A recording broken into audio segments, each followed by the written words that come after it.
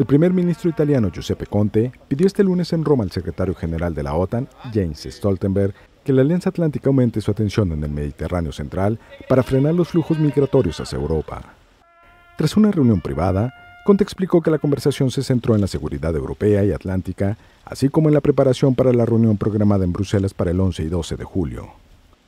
Desde su óptica, Conte consideró que actualmente existe un arco de inestabilidad que se extiende desde el Mediterráneo a Oriente Medio y que de esta zona provienen las amenazas más inmediatas a la seguridad, como la inestabilidad, terrorismo, extremismo violento, tráfico ilegal de todo tipo, incluido el de personas, y la proliferación de armas. Paralelamente, el primer ministro italiano incidió en la relación actual de la OTAN y Rusia, por lo que se manifestó favorable a potenciar un diálogo que favorezca los lazos y rebaje la tensión.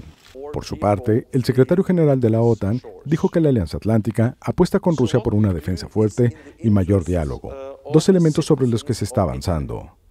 Stoltenberg también adelantó que en la reunión de la OTAN en Bruselas del próximo julio se hablará sobre terrorismo, sobre Libia y la crisis migratoria, y también sobre el lanzamiento de una nueva misión de entrenamiento en Irak que ayude a los iraquíes a estabilizar su país.